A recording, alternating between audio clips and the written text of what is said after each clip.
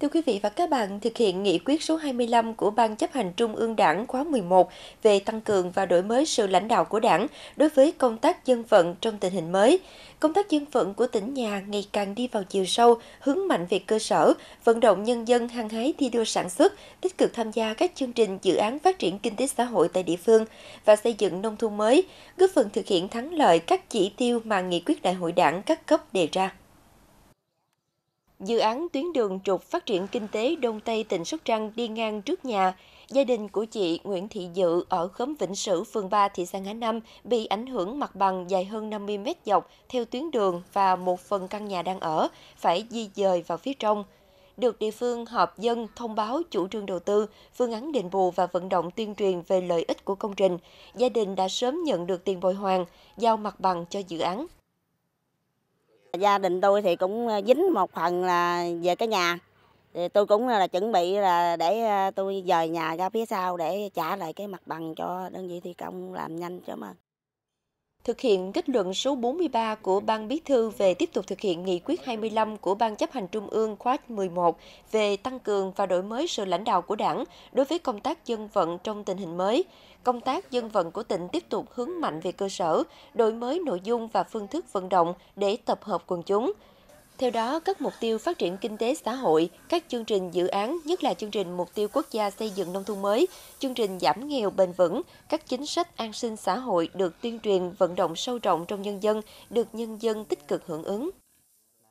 Ờ, hồi đó dây ờ, cận nghèo được ờ, uh, 3 năm rồi mới uh, thoát nghèo mới uh, dây nguồn vốn để mình nuôi gà nuôi heo chăn nuôi vậy đó sải ấp xuống dưới bên ngân hàng với bên ờ, đoàn thanh niên xuống khảo sát, thấy mô hình mình làm ăn thấy thực tế vậy đó. Người ta hỗ trợ tiếp cho mình. Rồi đó, nhờ cái nguồn vốn chính sách, rồi đó cũng ờ, cần nghèo, rồi nhờ cái ờ, nguồn vốn ngân hàng chính sách hỗ trợ cho mới mình làm ăn phát triển mới được thoát cần nghèo. Mặt trận Tổ quốc và các đoàn thể tập trung đổi mới nội dung, phương thức hoạt động theo hướng sâu sát cơ sở, chăm lo thiết thực đến quyền và lợi ích hợp pháp chính đáng của đoàn viên, hội viên và nhân dân,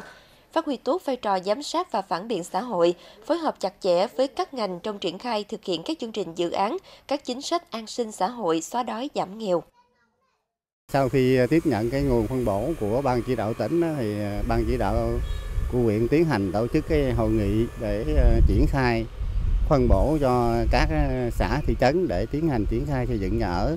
cho hộ nghèo bức xúc vì nhà ở trên địa bàn của huyện. Ban thường trực Ủy ban trận tổ quốc của huyện thì cũng có ờ, phối hợp cùng với đoàn thể huyện là có thành lập cái, cái tổ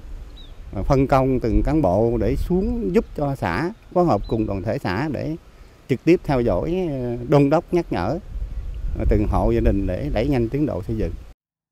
Nổi bật trong công tác dân vận là phong trào thi đua dân vận khéo và xây dựng mô hình dân vận khéo, tiếp tục phát triển rộng khắp trên tất cả các lĩnh vực của đời sống xã hội, góp phần mang lại hiệu ứng xã hội tích cực, nâng cao nhận thức trách nhiệm, năng lực, phong cách dân vận của cán bộ đảng viên trong thực hiện công tác dân vận. Thực hiện cái chủ trương của à, quỹ quỹ à, năm 2022 là thượng hưng xây dựng à, nông thôn mới, thì ban dẫn đầu năm xây dựng kế hoạch trong kế hoạch thì có phân công ờ, các đoàn thể phụ trách từng chọn 5 ấp, điểm để ờ, thực hiện. Thì ờ, mỗi đoàn thể phụ trách một ấp. Trong đó thì có cái mẫu 12 tiêu chí cho hộ đăng ký, rồi đồng thời là tuyên truyền, vận động và cho người dân nắm được cái trách nhiệm của nhà nước là phần việc nào, rồi trách nhiệm của dân, phần việc nào để người dân hiểu được và thực hiện Thời gian tới, công tác dân vận của tỉnh nhà tiếp tục phát huy vai trò của mặt trận tổ quốc và các tổ chức chính trị, xã hội, đổi mới nâng cao hiệu quả công tác tuyên truyền, vận động nhân dân thực hiện đường lối chủ trương của đảng, chính sách pháp luật của nhà nước, quan tâm củng cố nâng cao chất lượng hoạt động giám sát phản biện xã hội, tham gia góp ý xây dựng đảng, chính quyền, hệ thống chính trị trong sạch vững mạnh.